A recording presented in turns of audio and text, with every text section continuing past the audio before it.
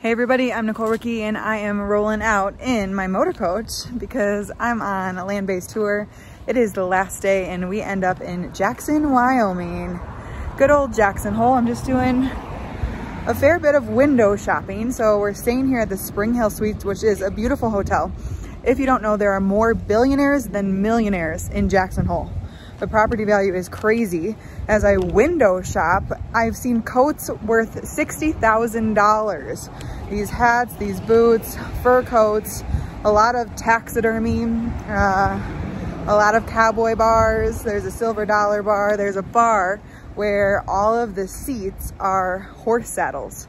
So it's a good old time just walking around, checking out the city. They have antler arches. It's it's a cute it's a cute town. Um, it's a mountain town, of course, big, big idea to come here in the winter. Lots of ski resorts. It is the end of summer when I'm here now, but I'm enjoying myself. Nonetheless, beautiful day, blue skies, and it's a great way to end our national park itinerary. Well, I gotta admit that the older I get, I don't know shit about anything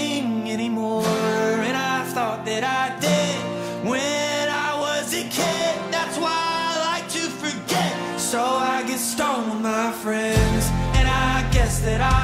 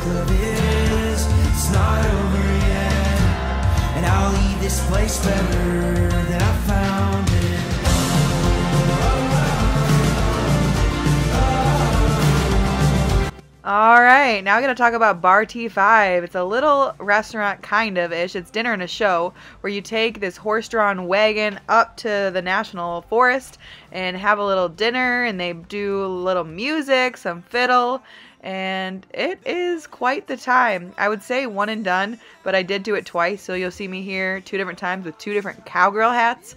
But yeah, it was so fun. I love horses